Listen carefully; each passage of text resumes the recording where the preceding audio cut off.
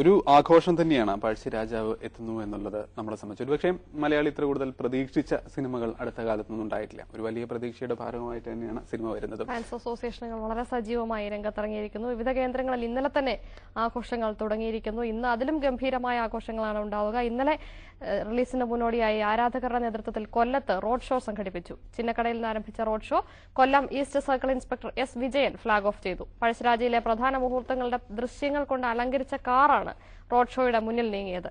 നഗരം ചുറ്റി